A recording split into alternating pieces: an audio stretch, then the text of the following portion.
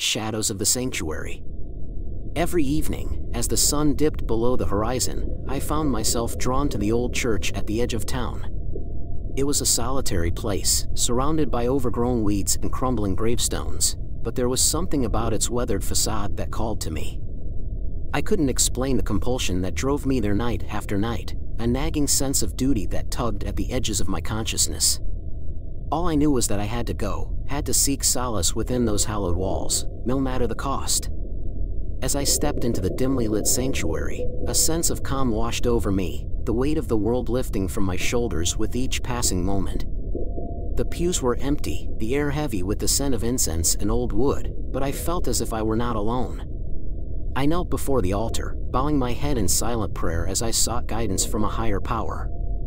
But as the minutes stretched into hours, I couldn't shake the feeling that something was amiss, that there was a darkness lurking just beyond the sanctuary's walls. Still, I pushed the thought from my mind, focusing instead on the comforting rhythm of my own breath.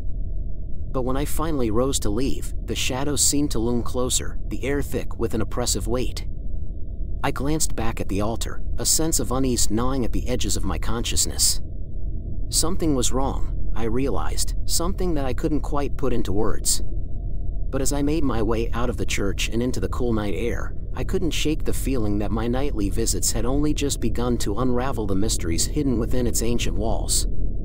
As the days passed, my nightly visits to the church became more frequent, the compulsion to seek solace within its crumbling walls growing stronger with each passing hour. But with each visit, I couldn't shake the feeling that something was off, that the church held secrets far darker than I could have ever imagined. It started with small things, a flickering candle, a whisper in the darkness, but soon, the signs of something sinister became impossible to ignore. Shadows danced along the walls, their movements fluid and unnatural, as if guided by some unseen force. I tried to convince myself that it was all in my head, that the stress of my daily life was playing tricks on my mind. But deep down, I knew the truth. There was something wrong with the church, something that defied rational explanation. One night, as I knelt before the altar in silent prayer, I saw it, a figure lurking in the shadows, its eyes glowing with a red light. I froze, my heart pounding in my chest as I stared into the darkness, unable to tear my gaze away. Who are you? I whispered, my voice barely more than a hoarse whisper. The figure said nothing, its form flickering like a candle in the wind. But as I reached out to touch it, my hand passed through empty air, leaving me grasping at nothing but shadows. With a sinking feeling in my gut, I stumbled back, my mind reeling with fear and confusion. Who, or what, had I just encountered? And what did it want from me?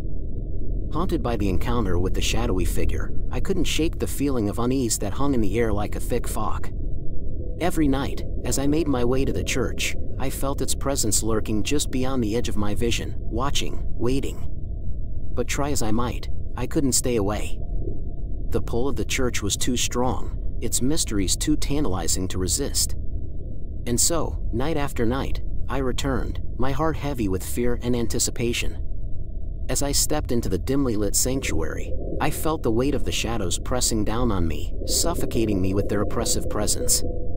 The air was thick with the scent of decay, the once hallowed walls now stained with the darkness that lurked within. And then, as I knelt before the altar, I saw it, the truth that had been hidden from me all along. The church was not the sanctuary I had believed it to be, but a crumbling ruin, its walls crumbling and its pews empty of life. I stumbled back in horror, my mind reeling with disbelief. How could this be? How could I have been so blind to the truth that lay hidden beneath the surface? But as I looked around me, I realized that the church was not the only thing that had changed. The town itself was now nothing but a ghost town, its streets deserted and its buildings crumbling into dust.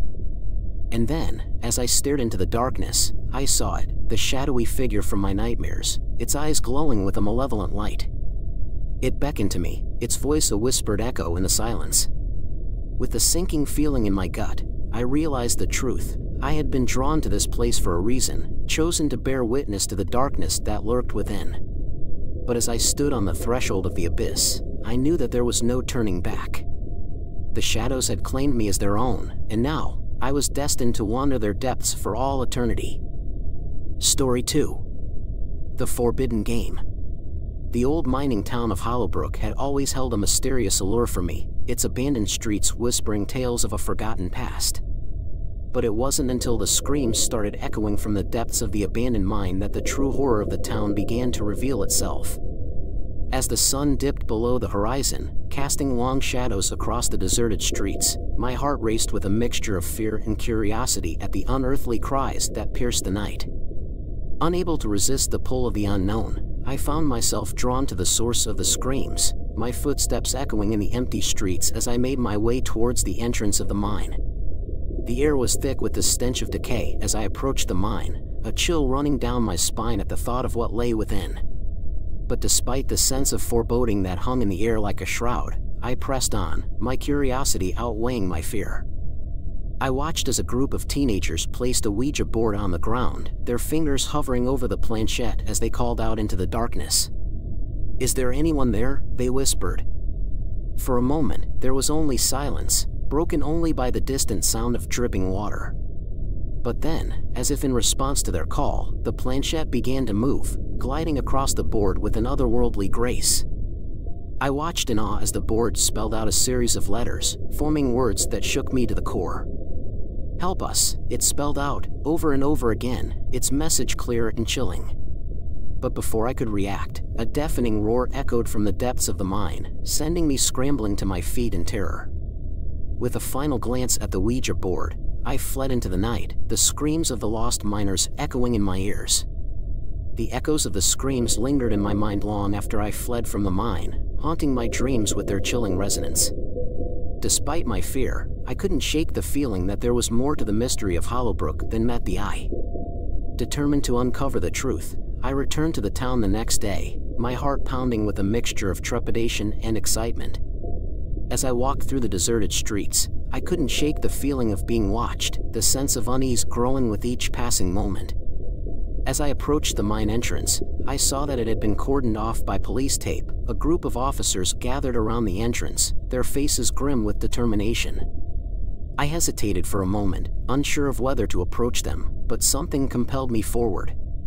With a pounding heart, I approached the nearest officer, my voice trembling as I asked, What happened here? The officer turned to me, his eyes dark with exhaustion. We're not sure, he said, his voice barely above a whisper. There have been reports of strange occurrences in the mine, screams, voices, things moving in the darkness. We're investigating, but we don't have any answers yet. As he spoke, I felt the hairs on the back of my neck standing on end. There was something deeply unsettling about the mine, something that defied rational explanation. And then, one night, as I lay in bed, a voice whispered in my ear, a voice that filled me with a sense of dread. You're getting too close, it hissed, its words echoing in the darkness. Leave this place, before it's too late. Despite the warnings that echoed in my mind, I couldn't shake the feeling that there was more to the mystery of Hollowbrook than I had uncovered.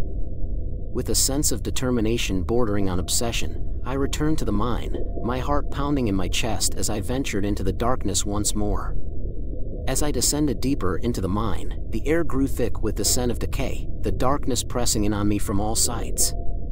But I pressed on, my mind consumed by the need to uncover the truth. With each step, the shadows seemed to grow darker, the silence broken only by the sound of my own heartbeat echoing in the cavernous depths. And then, as if in response to my presence, the mind came alive with a chorus of screams, a cacophony of anguish. With a sense of dread gnawing at the edges of my consciousness, I pressed on, determined to reach the heart of the mine and uncover the source of the screams that haunted my dreams.